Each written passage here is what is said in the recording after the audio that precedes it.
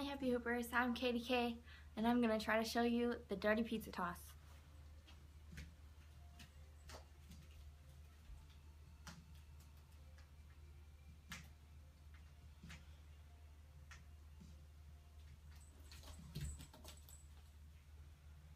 Okay, so I start with my feet, hoop width apart, and the hoop is just kissing the outside of my feet.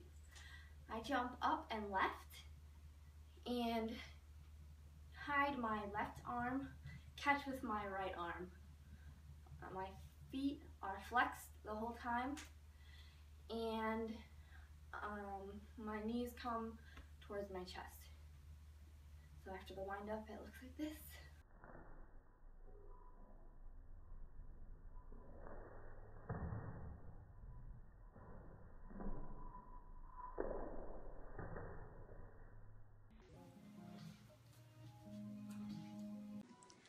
Thank you for watching and I am looking forward to making more tutorials for you.